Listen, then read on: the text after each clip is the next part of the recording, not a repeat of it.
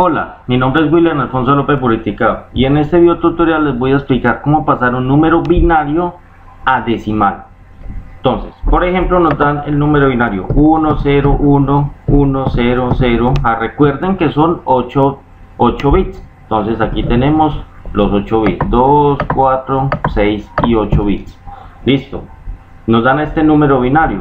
Entonces, eh, debemos tener primero eh, esta tabla. Esta tabla es estándar y con ella nos facilita mucho para hallar el número decimal a partir de este binario o viceversa como le expliqué en el video anterior. Entonces, eh, pasamos ese número decimal en este 1, 0, 1, 1, 0, 0, 0, 1. Entonces, podemos tener la fórmula ya implementada con la función sí ahí en Excel, pero aquí lo vamos a hacer eh, de manera manual. Entonces, donde tengamos el número 1, vamos a sumar su bit relacionado. Eh, pues el número que está en la parte de arriba.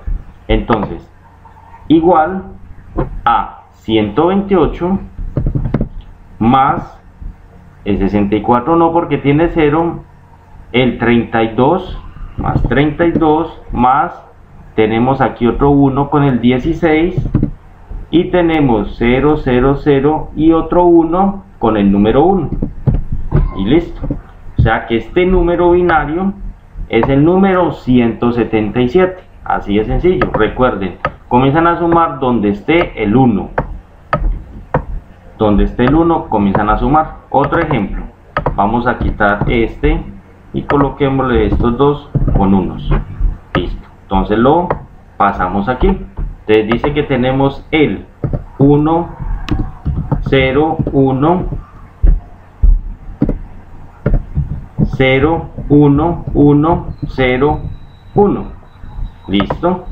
Entonces vamos a comenzar a realizar la sumatoria. Entonces dice que tenemos el 1 en el 128 dice que tenemos en el 32 128 más 32 más 8 más 4 y más 1 por lo tanto ese número binario es el número 173 este es el 173 así de sencillo. Vamos a cambiarlo. Vamos a decir que aquí hay un 0 0 1 y coloquémosles aquí otro 1 entonces vamos a comprobar qué número es ese. Quitamos todos. Y eso quiere decir que tenemos tres ceros aquí en la parte izquierda y los unos y cinco unos en la parte derecha. Listo entonces comenzamos a convertirlo no está en el 128, el primer 1 está en el 16. Entonces 16 más 8 más 4 más 2 y más 1. Más 2 y más 1. Eso quiere decir que este número es el 31 decimal a partir de este binario. ¿Listo? Espero que haya sido de mucha utilidad y que sigan viendo los videos. Hasta luego.